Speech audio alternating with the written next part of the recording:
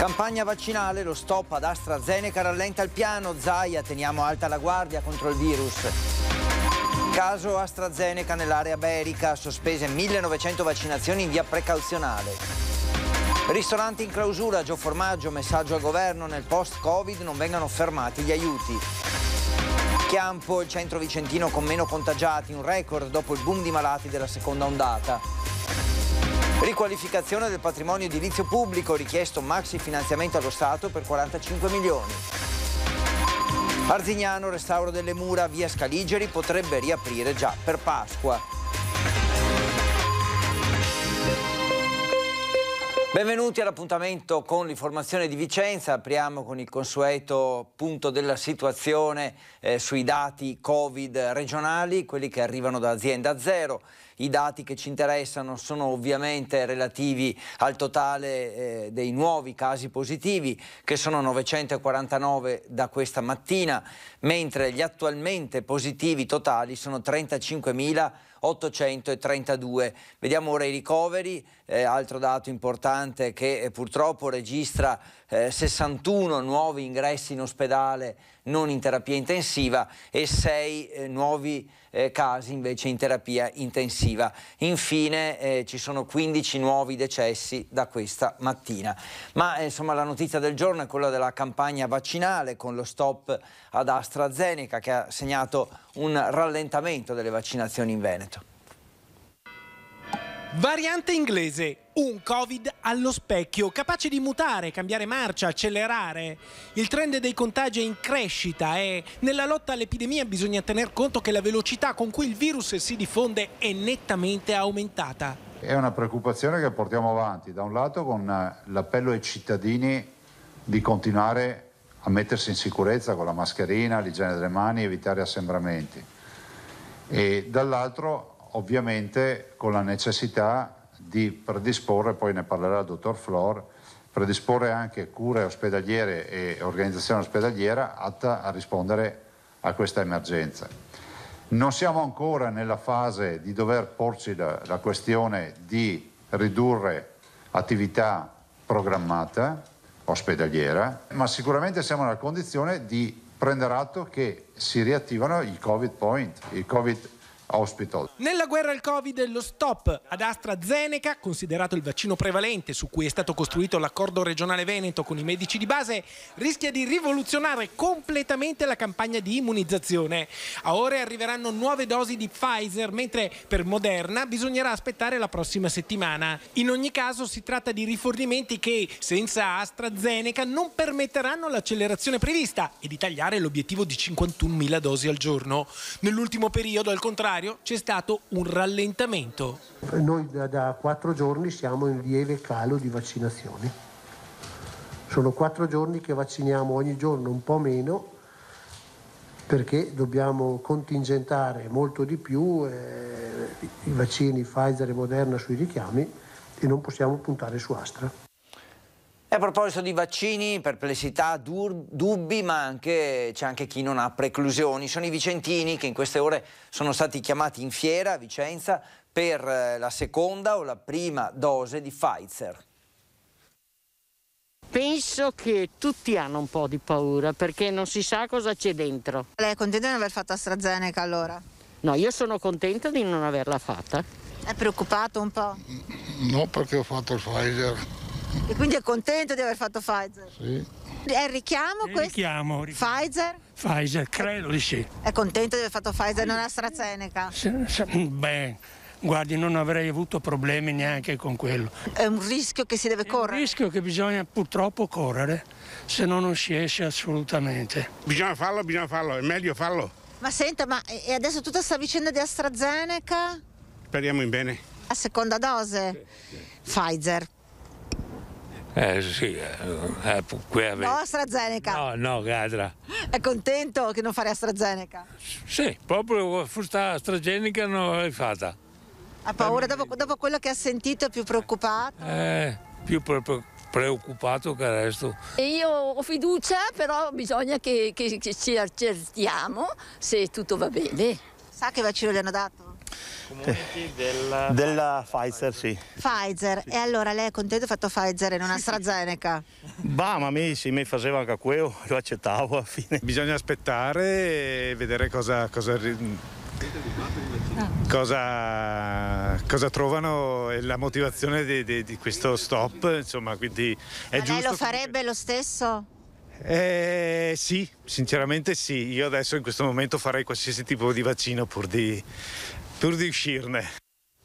E sul caso AstraZeneca nell'ULSOT sono state sospese al momento in via precauzionale 1900 vaccinazioni, nessun effetto avverso comunque segnalato per il momento. Abbiamo sospeso le sedute vaccinali di AstraZeneca questo, eh, le sedute per i prossimi giorni. Sospensione temporanea e precauzionale fino a domenica in attesa che EMA, l'Agenzia Europea del Farmaco, faccia tutti i riscontri scientifici del caso, ovvero verificare il nesso causa-effetto sui casi dei soggetti deceduti e quello relativo all'incidenza degli effetti tromboembolici. Così l'USLOT ha provveduto in queste ore ad informare tutti i soggetti che erano prenotati in questa settimana, complessivamente erano previsti 1900, che la loro vaccinazione era sospesa ma la direttrice del SISP, Servizio Igiene e Salute Pubblica, rassicura. Abbiamo un attimo rallentato, ma confidiamo che nel giro di pochi giorni le cose vengano risolte e di ripartire. Moltissime intanto le chiamate di cittadini che avendo fatto la prima dose di AstraZeneca chiedono informazioni sul richiamo. Al momento manteniamo l'appuntamento per la seconda dose che essendo anche molto in là nel tempo, ricordo a 12 settimane dalla prima, quindi fra fine maggio e primi di giugno, può essere al momento mantenuta. Ad oggi sono stati 6.424 soggetti vaccinati con AstraZeneca e a tutti è stato dato il documento con cui è specificato il tipo di vaccino e l'otto. In caso insorgessero problemi si devono rivolgere al medico di base. Al momento però noi non abbiamo segnalazioni di effetti eh, particolari, oltre a quelli, ripeto, già attesi e riportati anche nel foglietto illustrativo. E in tema di eventuali dosi di vaccino anti-Covid rimaste inutilizzate a fine giornata, anche l'ULS 8 Berica adotta le linee guida ministeriali e regionali, creando delle liste di nominativi che potranno essere contattati all'ultimo momento in caso di disponibilità. Nominativi individuati esclusivamente tra le categorie prioritarie come personale sanitario e soggetti fragili che siano stati impossibilitati a effettuarlo in precedenza. Abbiamo visto i dati regionali, stiamo parlando di ULS 8, allora un'occhiata anche all'epidemia nell'area berica con le ultime 24 ore che hanno visto effettuati 4.417 tamponi, di cui 139 positivi, vale a dire il 3,14%. Da venerdì a oggi ci sono stati 20 nuovi ricoveri. Nell'ultima giornata si registra un decesso, mentre i guariti sono 106. E adesso cambiamo argomento perché i locali danneggiati dalle chiusure della zona rossa vanno sostenuti. Lo afferma in un messaggio al governo il consigliere regionale Gio Formaggio. In Germania hanno chiuso tutto però hanno dato i soldi. In Italia se non ci sono i soldi non chiudere tutto. Se l'Italia non può permetterselo, il governo non chiuda tutto. E lo Giaccuse di Gio Formaggio, consigliere regionale Veneto, ex sindaco sceriffo di Albettone e, per tradizione familiare, ristoratore del Basso Vicentino. Lingua tagliente, le sue parole sono sciabolate con cui colpisce le scelte politiche che hanno imposto la clausura ai locali. Io ho colleghi che hanno preso 6 euro di ristoro, cioè una, una, una presa per i fondelli. Neanche il coperto. Neanche il coperto, bravo. E tante attività chiuderanno, non apriranno più. Gente che si è fatto un mutuo per poter eh, sopravvivere quest'anno. È bruttissimo perché il mutuo si fa per fare il locale nuovo, non per pagare le, i rifiuti che non hai usato, per pagare le bollette che il fisso in un ristorante è alto. Non è possibile, non è possibile. Attorno ai locali c'è un indotto, ci sono famiglie che vivono di stipendi, ci sono lavoratori che oggi restano a casa, ci sono attività che non riapriranno più, altre invece stanno resistendo. Oggi Gio Formaggio si rivolge al governo e ai sindaci perché ristoranti, bar e negozi vengano aiutati a rimettersi in piedi. Zero spese per i plateatici, di mm, tirare via totalmente la tassa sui rifiuti, insomma andare incontro perché quello che mi spaventa ancora più del Covid è che appena finirà il Covid gli amministratori non si ricorderanno più che c'è stato un anno, un anno e mezzo di chiusura totale che ha fatto indebitare i ristoratori e i baristi. E cominciano a rimettere i plateatici, rimettere tutti i balzelli che se ti trovo dieci minuti dopo ti do la multa. Quindi dobbiamo ricordarci di questo periodo per essere propositivi e aiutare i commercianti anche quando non ci sarà più il Covid, perché adesso hanno veramente sofferto. Ora parliamo della situazione paradossale che si vive nella Valle del Chiampo, dove dopo il boom di contagi nella seconda andata, ora in zona rossa il numero di contagi è il più basso in regione. Oggi siamo proprio uh, in questo giorno a 35, a 35 casi, quindi una crescita c'è anche qui, ma una crescita più moderata rispetto alle altre zone della nostra provincia. Questo perché probabilmente si è avuto una immunizzazione di gregge derivante dal fatto che qui gran parte dei cittadini hanno avuto il Covid di fatto. Solo qualche mese fa la Valle del Chiampo contava 300 casi e il primo cittadino, sebbene in zona gialla, nel tentativo di contenere il contagio, aveva messo in atto misure più restrittive per i suoi cittadini. Quasi tutte le famiglie avevano almeno un contagiato, se non più contagiati, appunto tra i, le appartenenti alla famiglia e questo è stato un momento veramente duro per la nostra vallata e lì eravamo in zona gialla. Una situazione che lascia smarriti gli abitanti, un paradosso dettato dal fatto che la fascia rossa è stata stabilita con un DPCM ma che il sindaco vuole vedere come uno strumento di prevenzione. Certo, per le famiglie la situazione è molto difficile, soprattutto per la cessazione dei servizi scolastici e per i servizi dell'infanzia. Questo è un dramma eh, veramente importante sul quale occorrerebbe ancora ben riflettere. Oggi rispetto ad un anno fa ci sono i vaccini, la voglia di tornare a vivere e di programmare grandi eventi c'è, ma ancora non basta risollevare umore ed economia di un territorio. Dopo un anno ritrovarsi nella stessa situazione è ovviamente eh, difficile, duro, eh, difficile da accettare più che altro. Cambiamo argomento, parliamo del patrimonio edilizio pubblico degradato da recuperare. Vicenza per questo chiede aiuto allo Stato.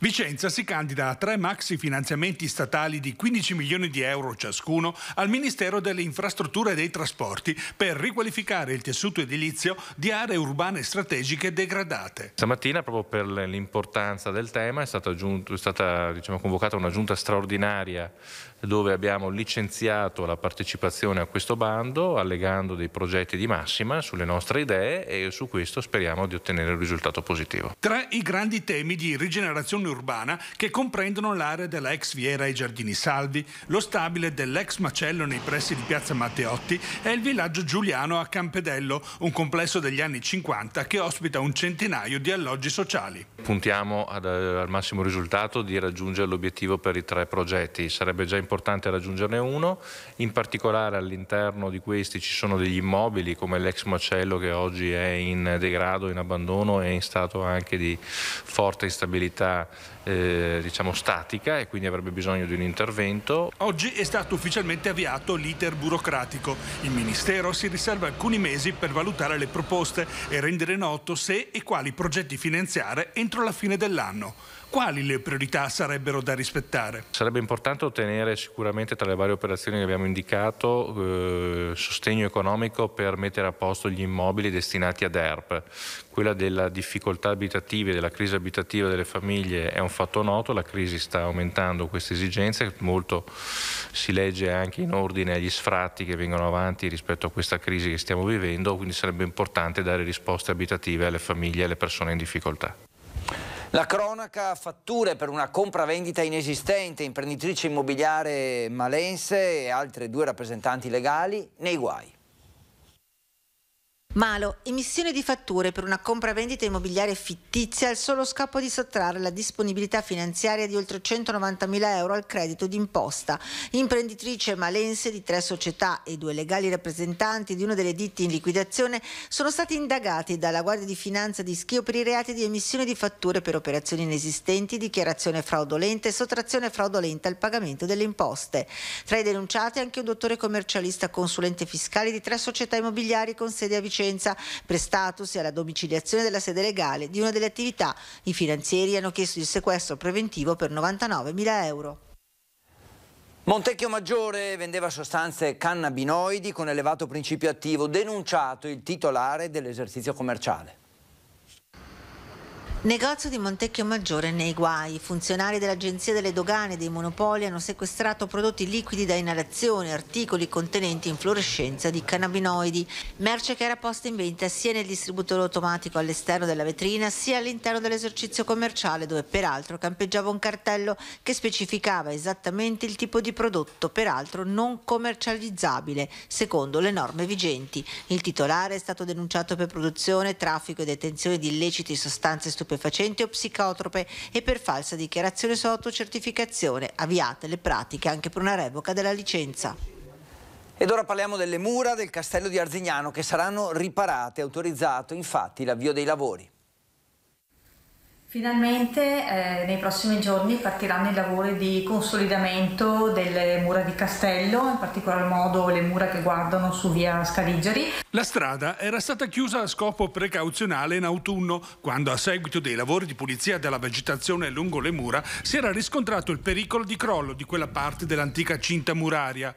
A danneggiare il castello il violento fortunale del 29 agosto, che aveva scosso così gravemente la struttura da minacciare la possibile caduta di materiale sulla sede stradale e su eventuali malcapitati. Ci scusiamo per il ritardo e per l'eventuale disagio, ma eh, le mura sono sottoposte a vincolo storico paesaggistico, quindi abbiamo dovuto attendere per l'inizio dell'intervento dei lavori, abbiamo dovuto attendere il parere della soprintendenza che eh, è arrivato e quindi adesso inizieremo, eh, partiremo con i lavori di ripristino. Sì, in questi giorni è stato effettuato un sopralluogo dalla ditta esecutrice dei lavori e dai tecnici comunali. Nei prossimi 15 giorni sarà possibile intervenire. Poi successivamente riteniamo di poter aprire alla viabilità all'inizio di aprile, prima del periodo pasquale. E ora vi ricordiamo i nostri appuntamenti dopo il telegiornale Sport in casa condotto da Alex Giuliano, ospite della puntata Enrico Rossi, difensore dell'Arzignano, per parlare del campionato di Serie D. E poi alle 21.15 naturalmente l'appuntamento con Focus, l'approfondimento con il nostro direttore Luigi Bacialli, i suoi ospiti sono Maurizio Cattaneo, Alberto De Franceschi, Andrea Gregori, Francesco Manfio, Viviane Moro, Umberto Tirelli, Alberto Villanova, Roberto Volpe e Giovanni Zorzi. Quindi appuntamento con Focus, l'approfondimento sull'attualità. È tutto per quanto riguarda l'informazione di Vicenza, vi ringrazio per averci seguito, vi lascio alle previsioni del tempo, arrivederci.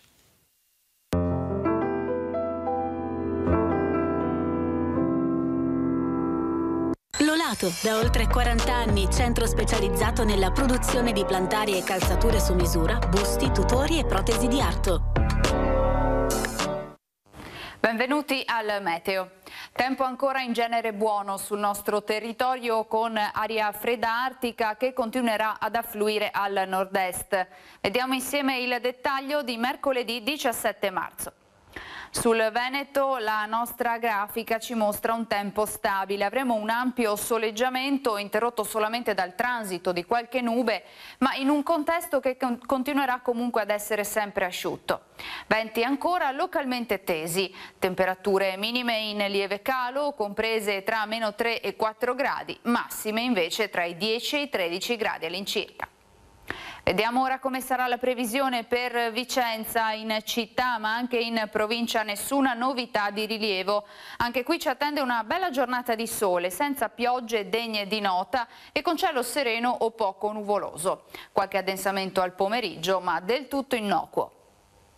Dal Meteo di Rete Veneta per ora è tutto, arrivederci al prossimo aggiornamento. Lolato, ortopedia e sanitaria, vasta gamma di ausili e soluzioni personalizzate. A Vicenza, via Legione Gallieno di fronte all'Istituto Rossi, ad Asiago, Bassano del Grappa e Montebelluna. Lolato, al servizio del tuo benessere.